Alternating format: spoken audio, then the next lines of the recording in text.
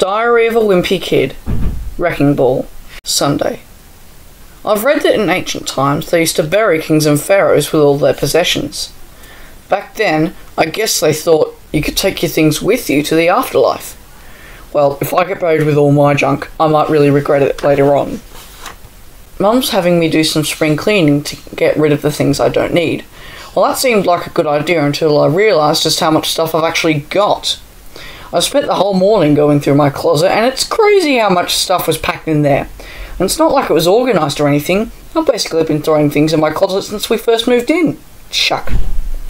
Digging through my closet was like going back through my childhood. And the further back I went, the further back in time it took me. The stuff near the front of the closet was all this junk I'd tossed in there over the past year, like homework assignments and comic books. But after I got all those things out of the way, I started finding stuff I actually forgot about. I found a model rocket I got for my 10th birthday, and a costume I wore for Halloween a few years ago. And there was a bunch of other stuff I didn't even know I still had. When I dug a little deeper, I found something I thought I'd lost years ago.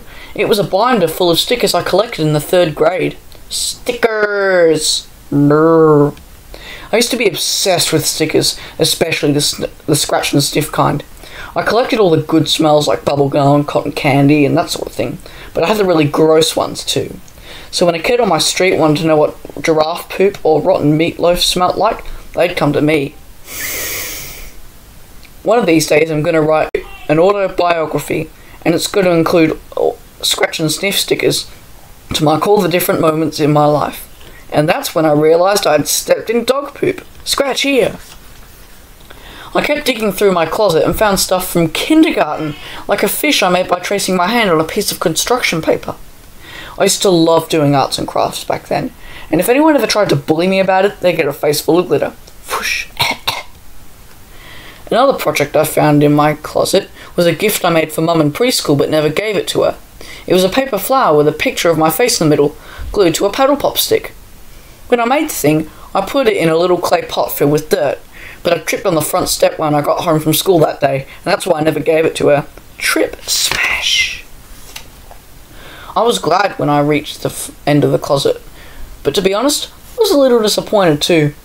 When I was younger, I read this book about these kids who could visit a whole new world by going through their closet, and I always wondered if I might be able to do the same thing with mine. I thought that whoever lived on the other side might not be happy with me for tossing all my junk in there over the years.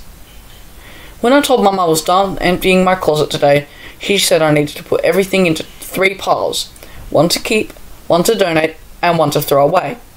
But I figured if I was going to let go of any of my junk, I may as well make some money off it, so I decided to have a yard sale.